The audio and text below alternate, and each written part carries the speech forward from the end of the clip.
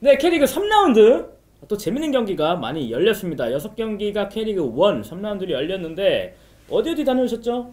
네. 제가 강원이랑요 전북 네. 갔다 왔습니다. 아, 강릉 종합운동장과 전주 월드컵 경기장 에 다녀오셨던 우리 형위원이고 네, 이제 시간대 순으로 한번 쭉 경기를 짚어, 짚어보죠. 자, 수원 삼성과 제주 유나이티드. 아, 제주가 달라졌어요. 네, 제주가 1대0으로 승리를 했는데 일단 지난 경기 두 경기 1라운드, 2라운드 때 이제 연속해서 유효 슈팅이 한 개밖에 없었던 제주 유나이티드인데 이날은 11개의 슈팅을 퍼부면서 무려 9개가 유효 슈팅으로 연결이 됐어요. 1, 2라운드에 슈팅이 너무 없다는 말을 저희가 여기 앉아서 했잖아요. 들은 것 같습니다. 아, 남길 감독님이 보셨네. 네, 그래서 일단 득점 결승골은 올 시즌 영- 영입한 김주공 선수가 네, 제주의 시즌 첫 골을 장렬시켰고요. 아, 정우재 선수의 돌파. 그 전에 이제 제르소가 또 이제 센스 있게 넘겨주는 것부터 아, 정우재 돌파가 아주 그냥 대단했고 또 김주공의 그 first touch 이건 뭐 그냥 내가 슈팅 때리겠다는 그거 아, 너무 잘 부드럽고 잘한 그런 touch였다고 보여집니다. 경기 어떻게 보셨나요? 경기요? 아 득점 장면은 그 first touch 얘기했잖아요. 음. 이거는 그렇게 잡아 잘 잡아놓는 거 보고선 아 골이다. 이거는 너무 잘 잡아놨기 때문에 이건 무조건 골로 들어갈 수밖에 없는 부분이다. 음. 와 이거 정말 미친 컨트롤. 그러니까 아, 너무 어. 너무 좋았어. 그리고 제주가 이렇게 슈팅을 많이 때려야지만이 어, 승리를 가져올 수 있다는 거를 보여준 경기였고요. 네. 반면 수원이 조금 아쉽습니다. 네, 수원은 올 시즌 경기가 지금 1대 0으로 지고 이기고 또 지고 뭐 약간 퐁당퐁당한 느낌인데 득점력 부분에 대해서 이제 수원도 박건호 감독이 굉장히 고민이 좀 많이 있는 것 같더라고요. 네, 그래도 이제 뭐 김건희 선수가 돌아오고요. 음. 그리고 또 구루링 선수가 아직까지는 K리가 적응한 모습이 보여지지 않지만은 이제 김건희 선수와 시너지 효과를 내면은 충분히 수원 삼성도 어, 저는 많은 득점력이 나올 거라고 생각은 합니다. 네. 3월 1일 날 이제 그 그로닝 선수의 플레이를 보면서 어, 슈팅 찬스를 만드는 것까지는 굉장히 잘 이제 해내고 다만 이제 마지막 0점이 조금 부족했다, 잘 안 맞았다 그런 생각이 들었는데 여러 가지 이제 뭐 파워나 이런 것들 그리고 뭐 위치 선정 이런 걸 보고 나서 저는 이제 개인적으로 감히 이 그로닝 선수가 올 시즌 한 10골은 넣을 수 있겠구나. 음, 어, 적응만 좀 하고 첫 골만 빨리 터진다면 두 자릿수 득점이 가능할 거다. 이렇게 예상을 해봅니다. 어 맞아요. 저도 그렇게 생각합니다. 아? 네. 근데. 이게 언제 터지느냐가 중요할 것 같아요. 어.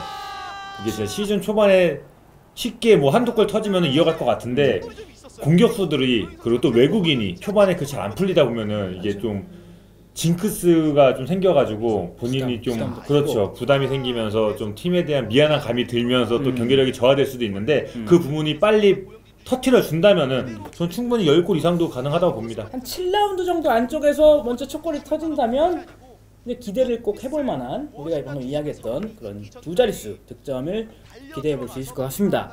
자 이날 경기는 이제 경기 결과뿐만이 아니라 또 후반 43분이었죠. 조금 이슈가 됐던 장면이 있는데 그로닝 선수에 대한 김호규 제주 주장인 김호규 선수의 도발 그런 장면이 좀 있었어요. 예, 그래서 왈가왈부가 많은데 또 이제 K리그 또 주장 출신 아닙니까 또 예? 주장 출신인 선수 수비 선수 비슷한 위치네 지금 네네. 포지션도 비슷하고 주장이고 어떻게 보셨나요? 어 물론 경기 중에 승리를 위해서는 뭐 흥분을 할 수 있고요. 기싸움도 할 수 있다고 봅니다. 그러나 만약에 저였다면 저였으면은 넘어졌어요. 그러니 넘어진 상태에서 기싸움을 하겠다고 이렇게 도발을 했잖아요. 그거보다는 그냥 손잡고 일으켜 줬으면 어땠을까? 야 손만 꽉 잡고 예, 손만 그렇죠. 손만 꽉 잡고 일으켜주면 어땠을까? 너가 나 때문에 그러니까 이런 기싸움은 있겠죠.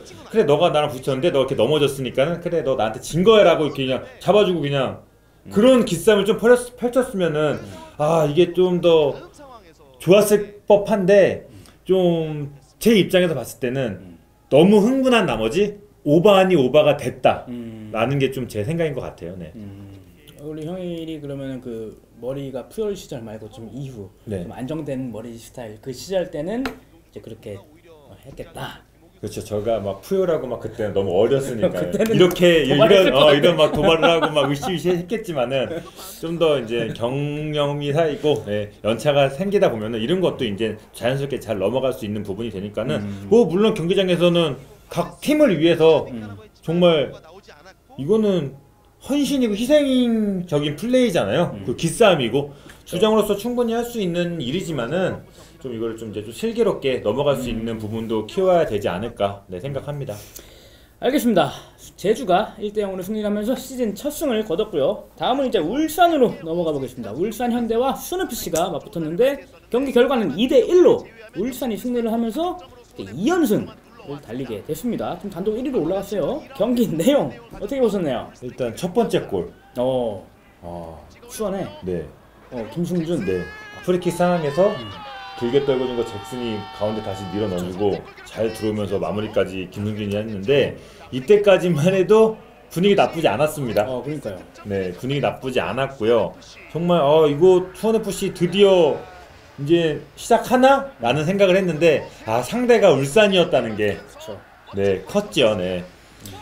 아, 이게 저는 김민주 선수가 득점도 득점인데 득점할 시에 서령호 선수의 패스가 아, 저는 정말 기가 막혔다고 생각을 하거든요. 그러니까 그 공간으로 그냥 네. 그거는 정말 여기 누가 들어오겠지? 라고 그냥 툭 올려주는 본인이 급한 상황이었는데 정말 침착하게 올려주는 거 보고 아, 그래도 진짜 김민준, 서령호 선수가 이제 팀에 완전히 그 어린 나이지만은 적응을 해가지고 어 이제 울산을 이끌 수 있는 진짜 주축 선수들이 됐다라는 것을 보여준 경기였던 것 같습니다.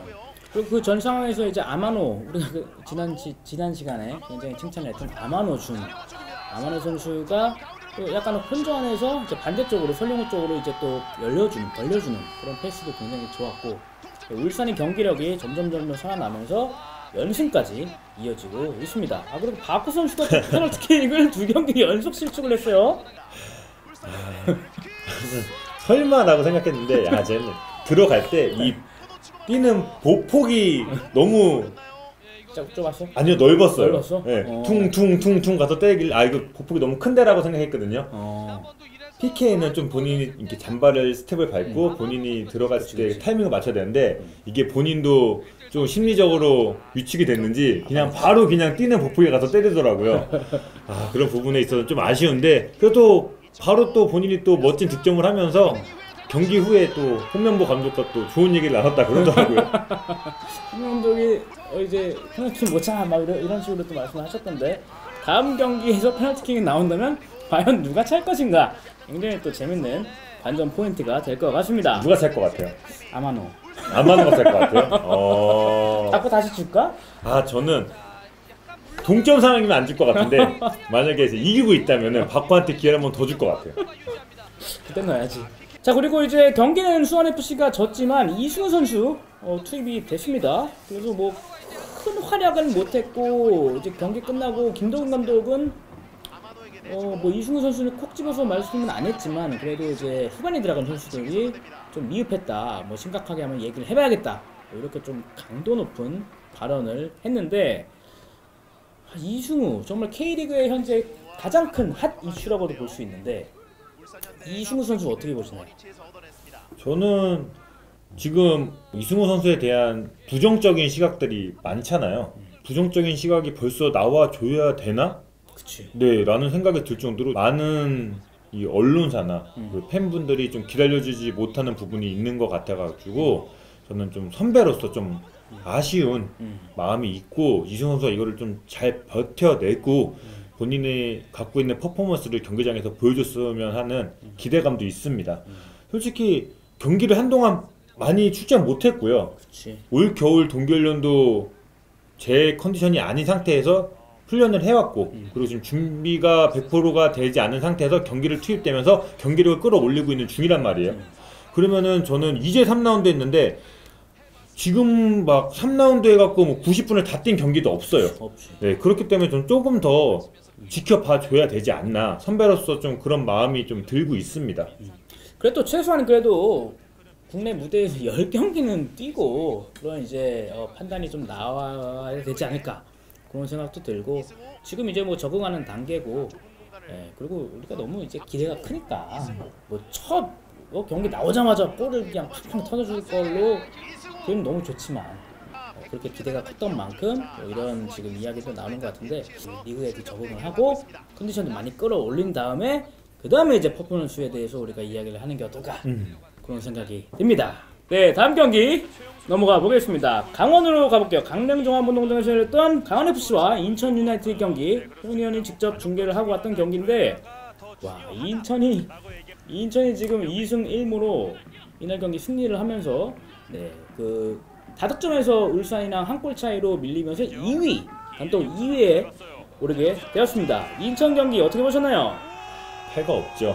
해가 없습니다. 네.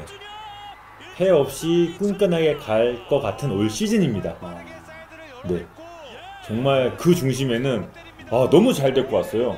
신입생들 네, 이명주랑 여름 선수. 미드필더. 네, 아. 특히 중원에서 하는 경기력은 정말 인천에게는 정말 큰 힘이 될 것 같고 음. 선수들에게도 정말 큰 도움을 주고 있는 두 선수입니다. 음.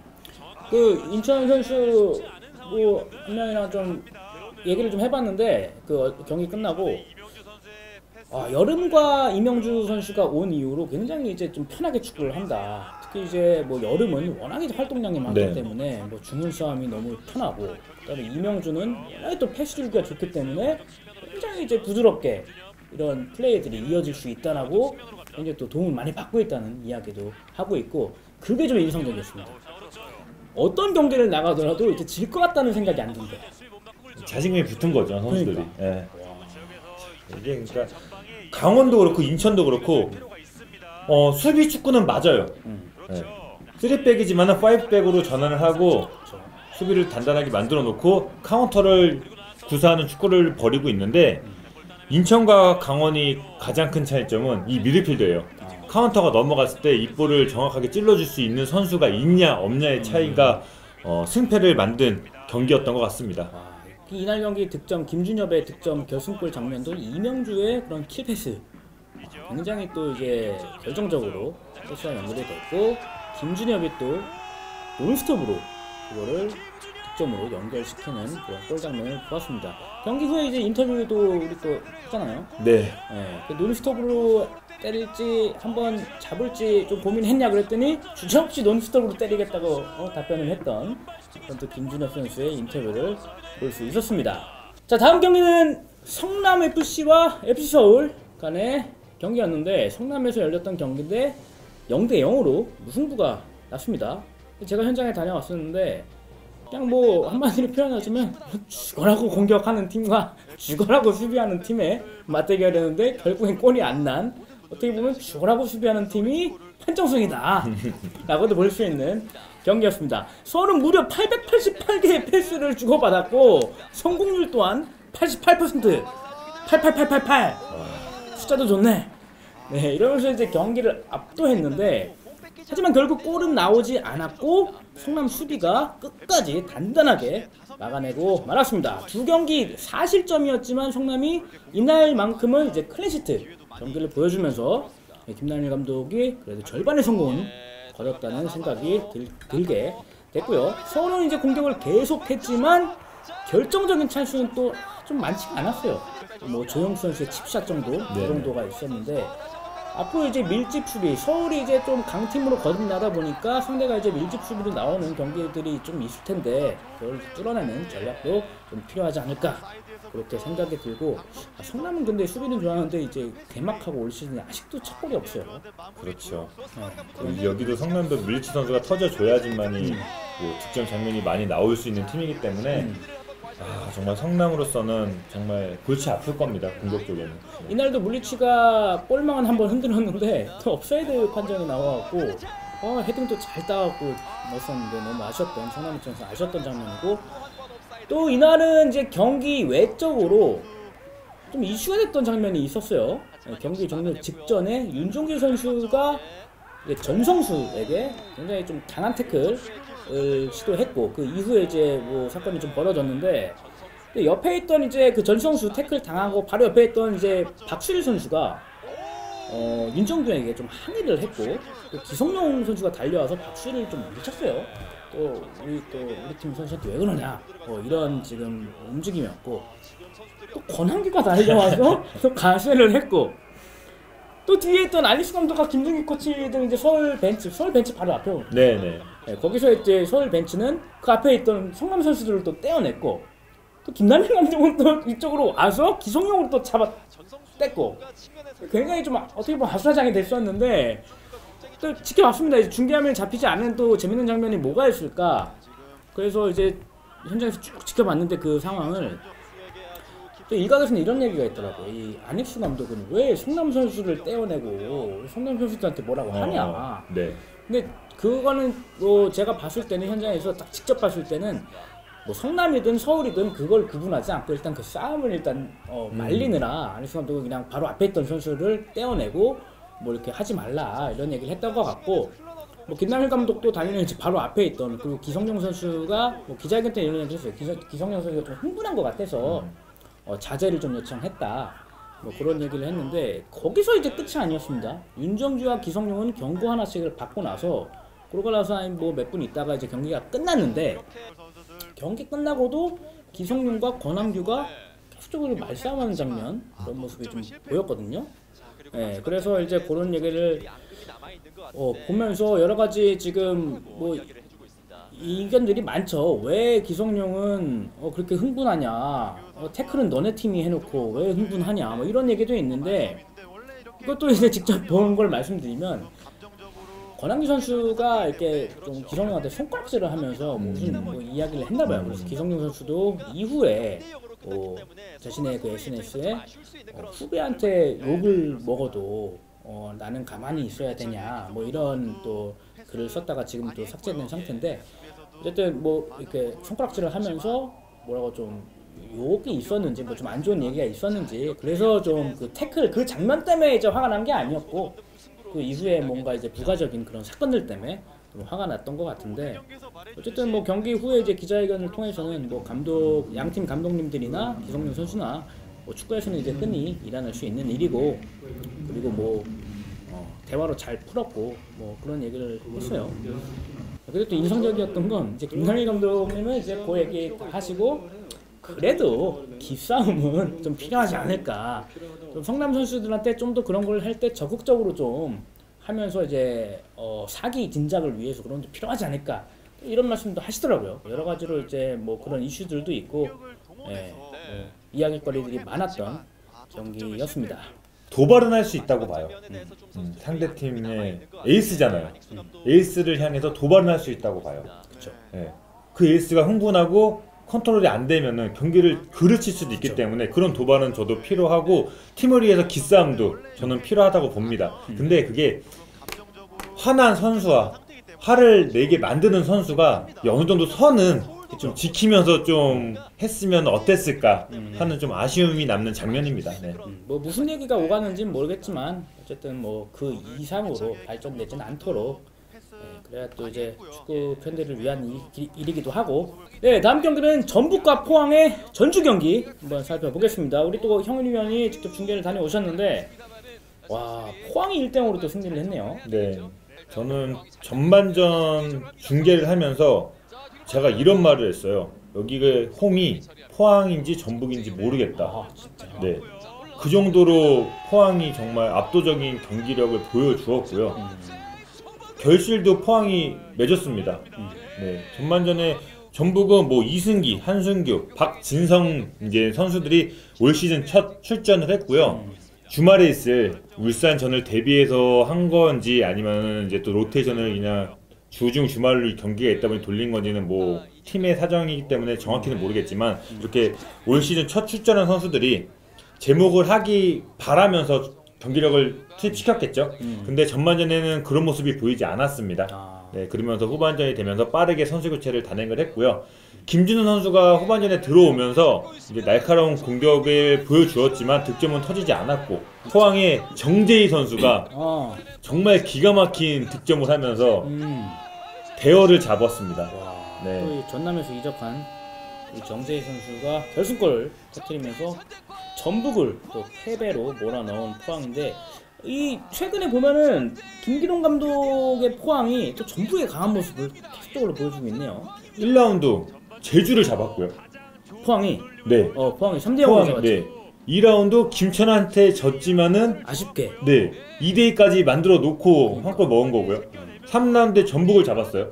지금 제가 우승 후보라고 얘기했던 제주와 전, 전북을 잡았고요. 김천도 올 시즌 좋다 그랬는데 아깝게 졌단 말이에요. 또 포항 위험하다 그랬잖아. 포항은 제가 위험하다 그랬죠.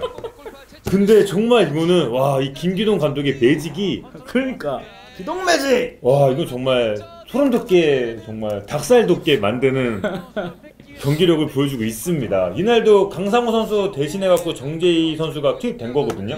강상호 선수가 이제 베이징 거안으로 이적을 하게 되면서 전반전부터 정말 오른쪽을 아주 그냥 흔들어 놓고 좋아. 네. 이제. 너무 좋은 모습을 보여주더라고요. 이날 경기에서 뭐 한 건 하겠는데 음. 생각했는데 너무 멋진 컨트롤에 이은 득점까지 뽑아내면서 이제 포항을 구해냈습니다. 와. 포항의 올 시즌이 행보가 좀 더 기대가 되고 있고요. 전북은 약간 이제 초반 순위 싸움에서는 이제 패배를 기록하면서 울산과의 그런 우승 경쟁에서 아직 초반이긴 하지만 그래도 조금 한 발짝 물러서는 그런 행복이 됐고요. 네, 그 다음에 포항은 네, 좀 이제 어려울 수도 있다라는 그런 예상도 많았지만 초반 행보가 굉장히 좋은 모습을 보여주고 있네요.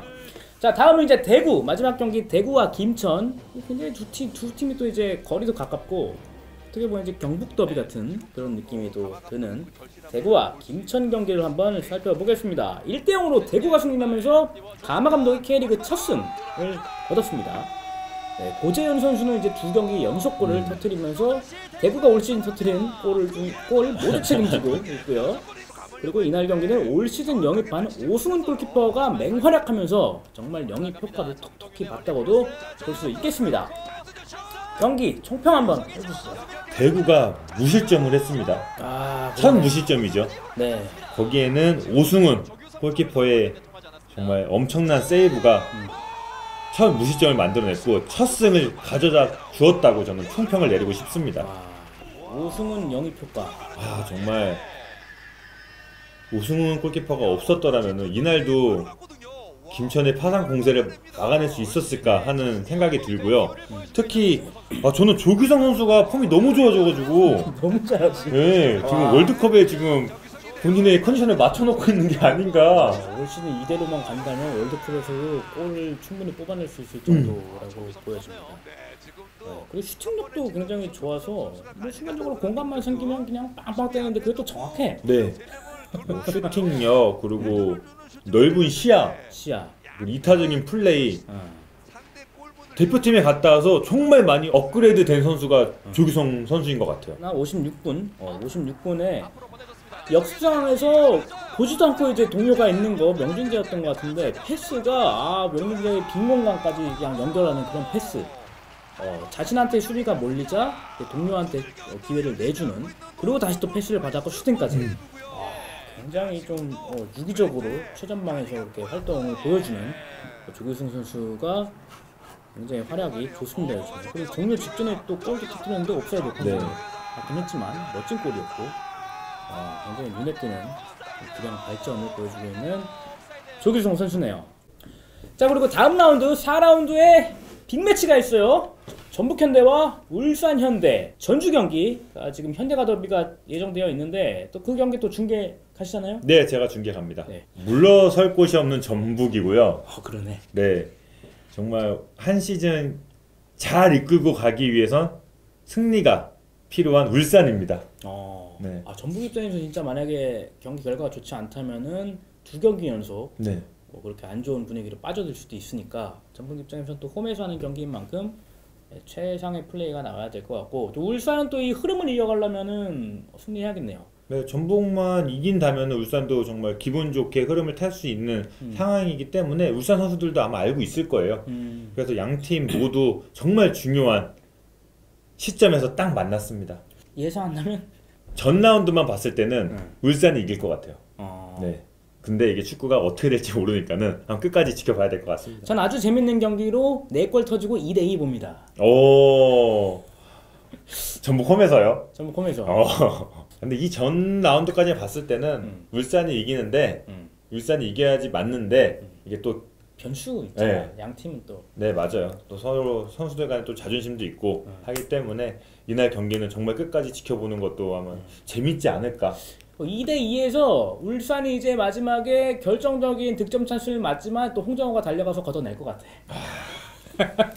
이거 다음 라운드 끝나고 봅시다. 리뷰 때 한번 봅시다. 네. 알겠습니다. 그러면 저희는 3라운드가 아닌 4라운드 마치고 다시 찾아뵙겠습니다. 감사합니다.